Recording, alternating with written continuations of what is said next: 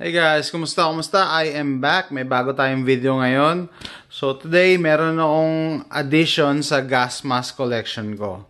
Okay, so background lang, no? Sinabihan kasi ako ng miss ko, oh, maghanap ka ng ano, N95 mask. So nag-look ako online, so hindi siya available. Kailangan pumunta ka sa store. Tapos, usually, sa mga store naman, walang mabili. So, tumingin ako sa eBay. Ang mahal, anda ano na, na ginack up na nila yung price, no? Uh, sinamantala na lang ngayon kasi mataas ang demand. So sabi ko, uh, tumingin nga ako ng gas mask. Ngayon, may nakita akong gas mask ito. Sabi ko, si, ano, mas mura pa ang original na gas mask. Ibig sabihin, mga surplus na gas mask. Kumpara dun sa mga N95 mask na yan. Eh, disposable yon Ito, reusable. So, brief, ano tayo, background, kung ano na yung update sa gas mask collection ko. So, ito, ano to, Israeli gas mask. Israeli. Ito, Finnish. Fin, Finland. Finnish gas mask. Ito yung may ilong. Tapos sa side ang ano, lalagyan ng filter. Tapos ito, German. Yung Drager gas mask. Yan, yung mukhang baboy. And then ito, Russian. Russian to na gas mask. Ito, US to na respirator. Hindi ko alam kung anong brand. Pero, alam mo na eh. Ayan, oh. Respirator tawag. Okay, NBC ang ano niya filter. So ang N is nuclear, B is biological, and C is chemical. So yun kaya niyang i-filter yon. NBC. Tapos ito naman Czechoslovakia, ZEC M7 M M10, ZEC M10. So copy to ng US M17 na gas mask. Ang filter na ito nasa pisngi yan. Isa dito, Tsaka di dito. Hindi ko alam iba gusto itong gas mask na to pero ayoko kasi mahirap magpalit ng filter. Kailangan mo hubarin talaga yung gas mask. Unlike pag sa mga ganito, i-screw mo lang yung filter. Anyway, iba-iba yan eh. So ito, buksan na natin yung bagong bili kong gas mask. Damit tayo ito from Batangas. Yan.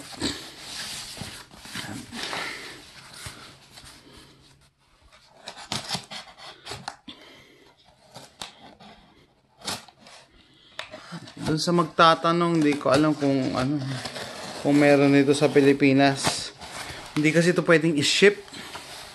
Ano yun, tatawag na ITAR to, ITAR International. Sakop siya ng ano, International Traffic, ano mo to, arms. Hindi siya pwede, considered as ano siya eh. Armas eh. So, kit siya, oh, may kasama siyang ano, uh, bag. It's a kit, hindi lang siya gas mask kompleto na. Kasi kailangan may container. Ayan. So ano to? Polish. Poland. Galing Poland to. So sa labas pa lang parang ang ganda na ng ano no, maganda yung bag niya. Hindi siya ganun kaluma ah. hindi siya mukhang lumang luma polish. Polish gas mask. And mura lang to wala pa tong $20. 1990, 1995 lang. Ship na yun. May kasama ng shipping. So, parang wala pa isang libong piso. But anyway, sabi ko, tignan ko muna. Pag nagustuhan ko, baka bumili pa ako isa. Okay? Tignan ko muna yung quality. So, ito. Kasama siyang surplus na bag. Kakabit mo yan sa gilid ng ano mo. Yung belt mo, ito. Kasi dapat palagi mo itong dala. Okay. Anong leather, leatherette o. So, tingnan natin yung gas mask itself. Okay, may packets pa dito. Pwede pa maglagay ng ano. Anik-anik yan. Ano to? Bakit? Ah, strap. Okay. May strap. Tapos, ito yung actual gas mask. Oh, huh. Parang malabo yung salamin. Okay. Baka may ano um, may serial number dito. Tapos, parang makapal yung ano, makapal yung rubber. Ito yung filter. So, usually, yan lang. Wala bang pera dyan. Yan, so, usually, yan lang ang laman ng ano eh. Talagang container lang talaga to. Para madala mo yung gas mask. Pero maganda yung bag ha, matibay. Yung iba ginagawa, pinaghihiwalay pa yan, tapos ibibenta yung bag. Okay, ba't tayo dito? Siyempre, surplus to. Dumi. Malikabok.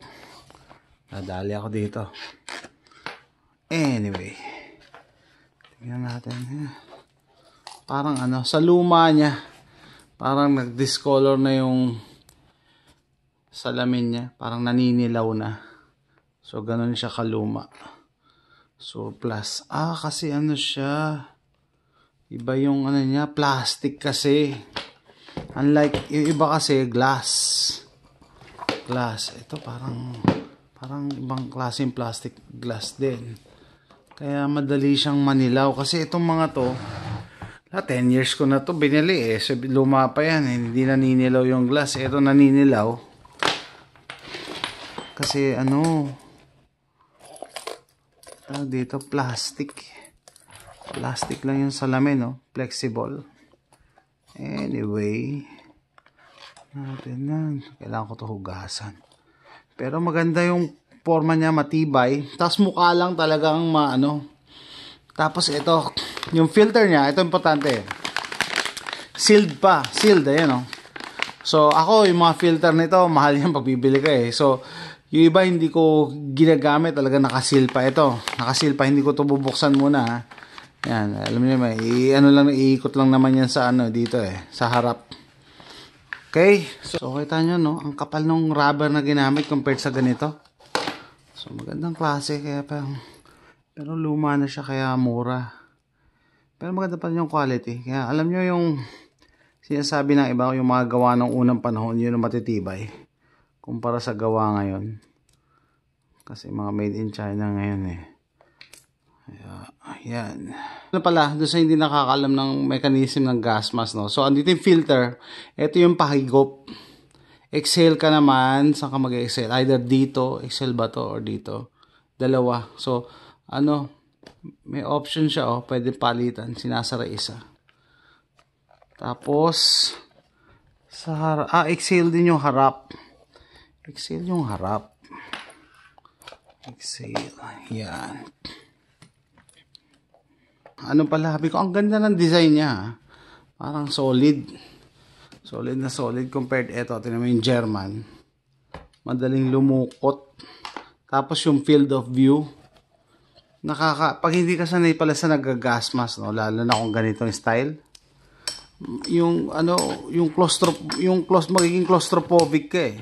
Kasi mata mo lang talagang nakaano, sakto lang. Kasi yung ganito, malawak yung field of view mo. Okay. Testing muna. So, ko muna dito.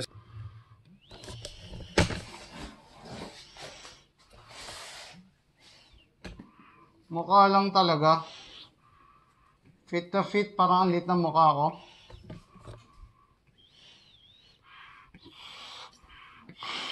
Dito lumalabas yung exhale. Tapos, oh, ito wala. Ito lang talaga. Dito. Ito wala. Parang ano to? Voice modulator siguro to. Ayan. So, ito yung Polish gas mask.